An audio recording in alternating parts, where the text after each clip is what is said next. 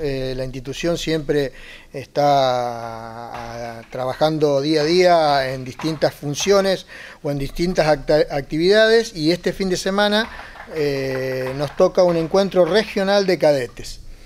Eh, nuestra región incluye 14 cuarteles de la zona, ¿no es cierto? la zona más aledaña a San Carlos, entonces esos cuarteles, no la mayoría, o la mayoría tienen escuela de cadetes y una vez al año se hace un encuentro. Y este año nos toca hacer el encuentro de cadete nosotros.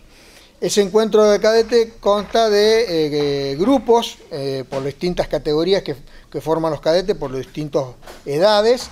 Entonces eh, hacen las actividades acorde a la edad del cadete. Entonces este fin de semana, a partir del sábado a las 10 de la mañana, van a entrar a ver unidades de los cuarteles más cercanos, eh, que van a venir a la institución y traen los cadetes para hacer este encuentro, el cual va a contar de 120 chicos, ah, entre 11 y 17 años. Van a tener sus actividades, el sábado a las 10 de la mañana se hace la acreditación, a las 11 de la mañana se hace el acto de apertura eh, en el colegio, porque son los lugares que hemos pedido y bueno, tenemos que agradecer a las distintas instituciones, al colegio que siempre nos dan la posibilidad de alojar a los chicos en esos lugares. Por ejemplo, el colegio, los chicos van a dormir ahí y van a tener actividades. El Club Central va a tener también un lugar destinado para nosotros, para que los chicos practiquen algunas actividades bomberiles. Eh, y la otra parte lo hacen acá en la institución. Entonces, el sábado se hace la, acreditación a las 10 de la mañana, a las 11 se hace el acto, apertura, y después de ahí más se almuerza acá en el cuartel y después los chicos de la tarde tienen las actividades correspondientes a cada grupo, ¿no es cierto? Eh, el sábado de la noche... ¿Dónde se hacen las actividades? Una parte acá en el cuartel, otra parte en el club central y otra parte en el colegio, en las canchas del colegio y eso, según lo, porque hay actividades que son juegos, hay otras actividades para los más chicos, hay juegos relativos a los bomberos, eh, para los de mediana edad hay desplazamiento de material y para los más grandes hay lo que es equipo autónomo y todo eso. Entonces, el sábado a las 18.30 horas se terminan las actividades y eh, los chicos tienen un rato de ocio y a las 19.30, perdón, a las 20.30 se va a hacer el desfile de unidades por el pueblo, eh, lo cual va a haber toque sirena y balizas. Vienen autobombas de afuera, así que para la gente que aproveche a estar en la calle y ver el desplazamiento de unidades. Después del desplazamiento de unidades, del toque, digamos, de sirena y baliza de las unidades de afuera y las unidades de San Carlos, con todos los cadetes arriba, porque para el cadete realmente es algo lindo pasear en una unidad de esas. Eh, se hace la cena acá. Y a los bocinazos y la Y a los bocinazos ni hablar.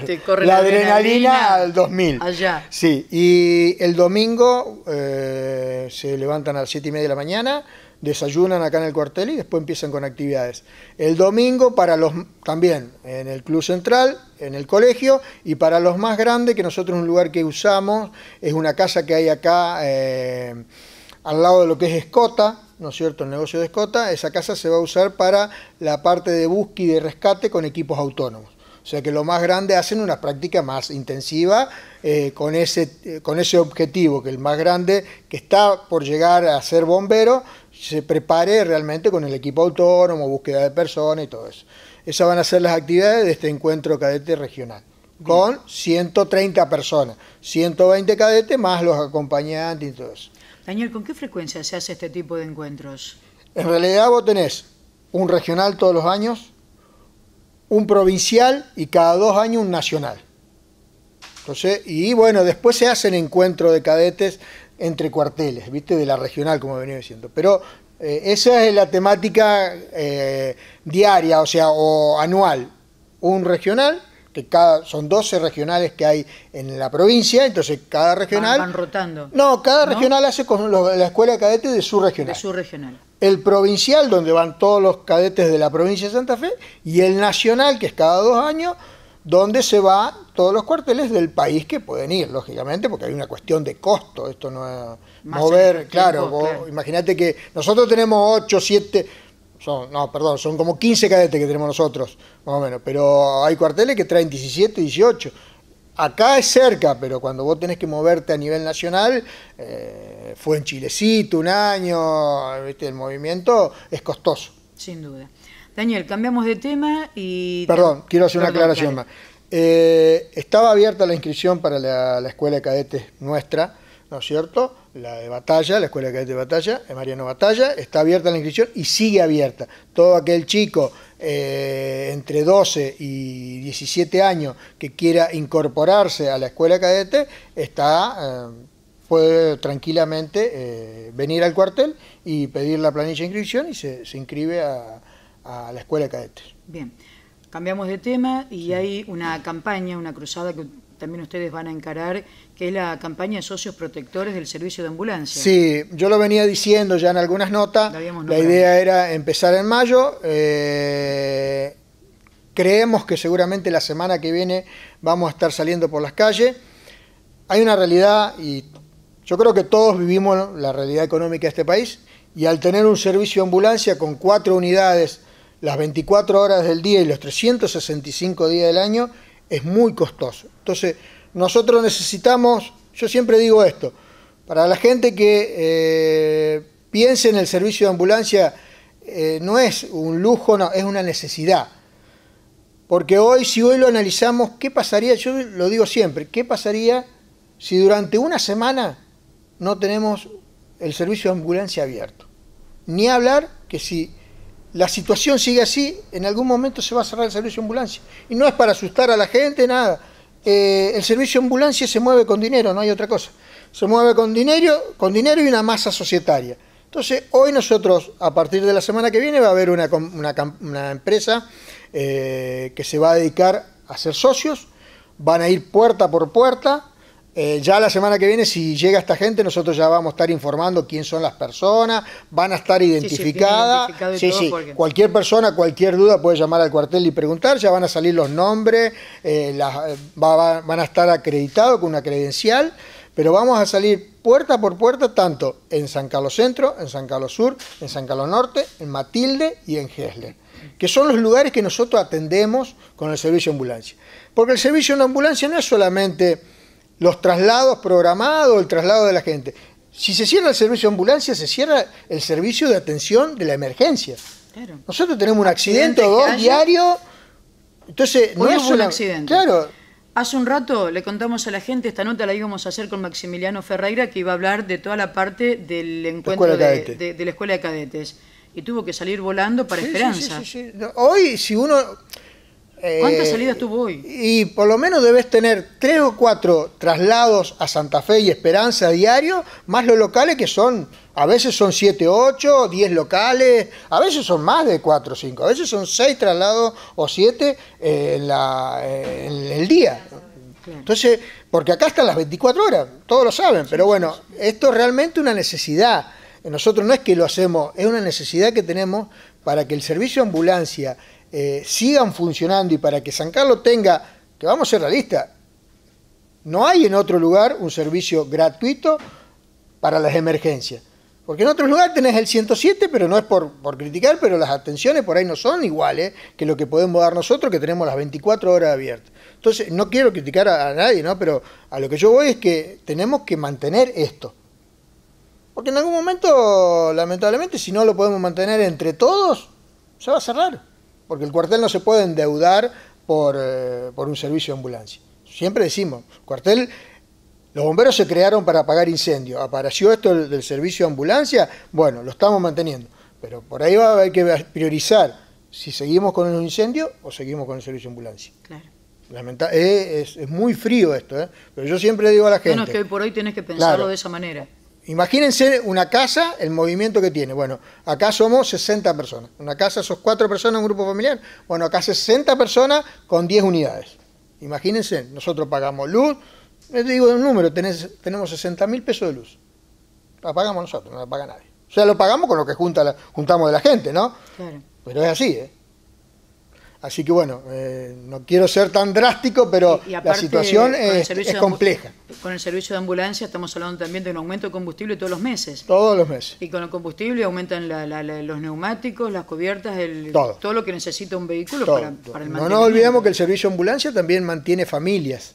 porque hay familias que trabajan para mantener este servicio de ambulancia. O sea que hay familias que dependen del servicio de ambulancia. Si en algún momento se cierra el servicio de ambulancia, va a haber familias que se queden sin trabajo. Muy complicado. Muy, complicado. La semana que solamente, no solamente, perdón, no solamente para la población. Esto que llega a los oídos de todos. Cada uno sabrá. Sí, iba a preguntar por ahí por la zona si hay algún aporte o algo, porque cuando bomberos tiene que salir, sale para todos lados. Salimos para todos lados. No se, no se pregunta si hay aportes o no, hay aportes. No, se pregunta ni siquiera en el momento del traslado si tenés plata o no tenés plata. Así, en otros lugares te dicen, un servicio privado te dice, primero deposite el dinero y después lo trasladamos. Después se traslada. Es, muy, eh, una situación muy delicada. La situación como está el país es la situación de la institución. Así que bueno, para no eh, ahondar en esto, eh, quiero decir que a partir de la semana que viene vamos a estar haciendo el servicio, esta empresa va a estar haciendo socios puerta por puerta, ayúdennos para ayudar, esa es la palabra justa, ayúdenos para ayudar. Ya saben la mayoría cómo son los, los, grupos familiares y todo eso. Los costos, mire, ayer hablábamos y nos reíamos, nosotros un matrimonio de jubilado paga lo que vale un pollo asado un fin de semana. Un grupo familiar paga dos no llega a dos pollos asados, no llega a dos pollos. Si lo vemos por ese lado. Por ese lado. Y hablando de pollos, ¿van, a juntar, ¿van, a juntar, algunos pesos ahora? Sí, ya que pasamos la parte más linda. No. El 21, el 21 hacemos una pollada, como tenemos acostumbrado a la gente, eh, una o dos al año hacemos, y bueno, el 21 de mayo hacemos una pollada, así que a 2.700 pesos el pollo.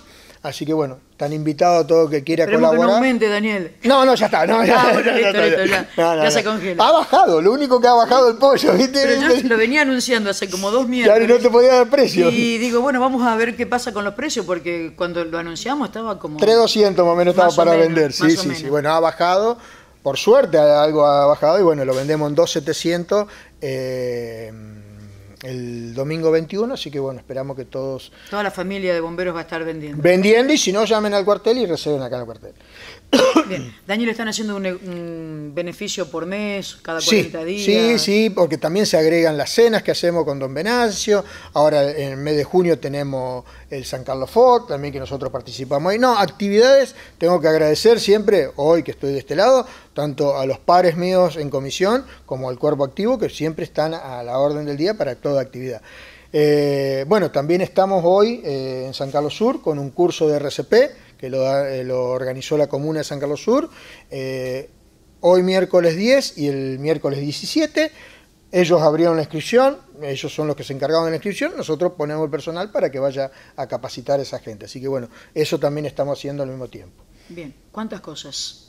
Sí, te esperamos en cualquier momento, Daniel. Seguimos informando. Vamos a ampliar la semana que viene, ya si encaran la campaña, de la gente que está acreditada, cómo va a estar eh, recorriendo las calles, qué sectores, si empieza por las calles. Sí, ahí vamos a ver, pero se va a hacer todo el pueblo, ¿eh? todo puerto por puerto. Aquella persona que por ahí considere que no han pasado por su casa y no han encontrado, y si tiene intención de ser socio, viene. llama al cuartel y nosotros se lo mandamos. ¿Y el que ya es socio tiene que presentar algo para...? No, solamente la persona que esté haciendo socio va a tener una planilla. Ah, bien, Entonces por ahí ni siquiera va a golpear en esa casa porque ya es socio. ya tiene Pero bueno, los datos. vuelvo a insistir, el servicio de ambulancia tiene categorías que son matrimonio de jubilados, jubilado solo, matrimonio de jubilado, eh, grupos familiares, eh, son cinco o seis categorías. Eh, se puede pagar con las tarjetas locales, teniendo un 10% de descuento, tanto con la Mutual de Central o con la Mutual de Argentino, tienen un 10% de descuento, así que bueno, es interesante eh, el beneficio que tiene, porque tiene servicio de enfermería, los traslados, porque uno dice, no, no me va a tocar la ambulancia a mí, y no sabemos. No, no, no. No sabemos. Entonces, eh, creo que hay que verlo como una necesidad y no como colaborar con los bomberos. Porque no es una cuestión de colaborar, es una cuestión de necesidad. Estás en tu casa, te descompensás y ¿a quién llamas? A los bomberos. Antes que al médico, a los bomberos. Es así.